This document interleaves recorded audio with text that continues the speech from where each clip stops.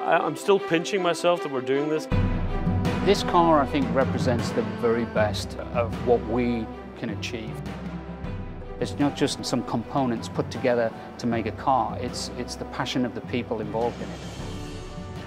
I truly believe we have one of the best design teams in the world. When you've got a tremendous, tremendously talented group of people that can come together and execute something like this, it's very gratifying. I think there'll be a, a big emotional connection for a lot of people with this car. This is just a whole nother level above and beyond where we've been so far. We always get asked, when are we going to do the next Ford GT?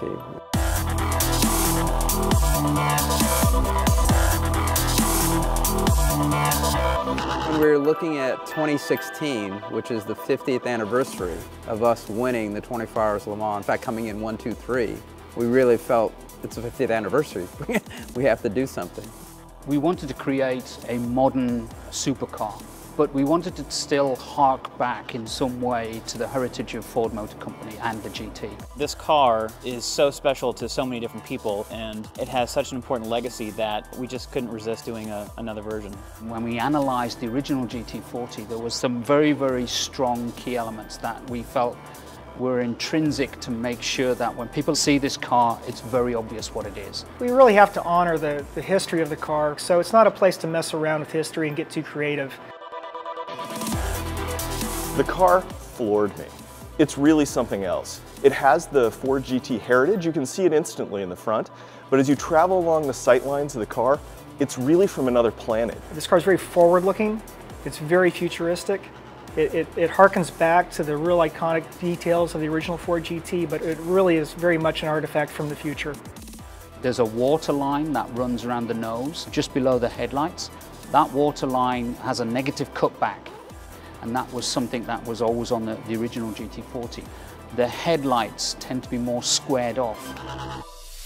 It's not just styled, it's very intentional. Everything is there for a purpose. We're targeting over 600 horsepower, so with this small compact V6, we really have extraordinary uh, power density from this engine.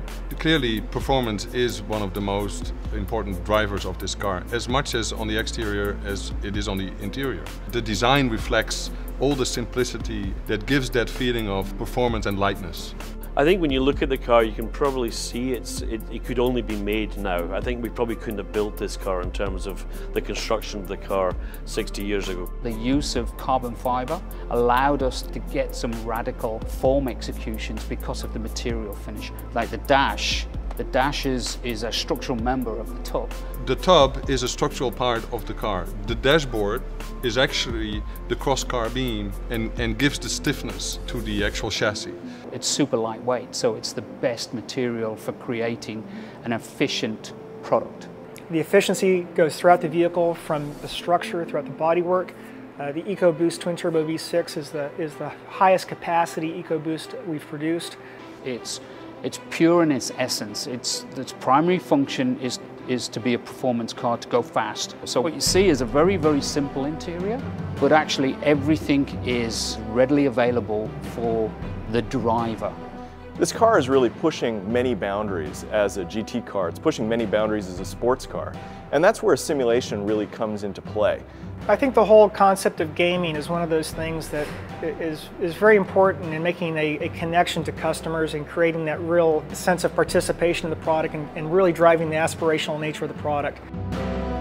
With the way video games have evolved and driving simulators have evolved, you get a much more true sense of what the ownership experience is about.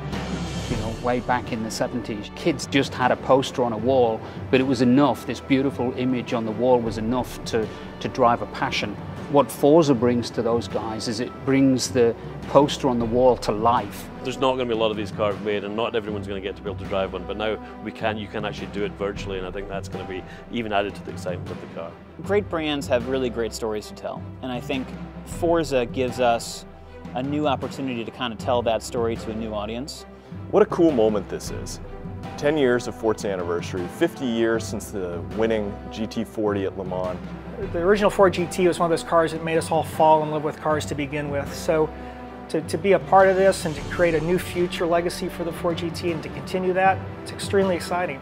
There's always something as an engineer that you know, I wish we had done this a little different. And that's the nature of an engineer. There's always something you're looking to improve. But right now, there isn't, there isn't a single line I'd change on. I wanted this to be a beautiful piece of product design.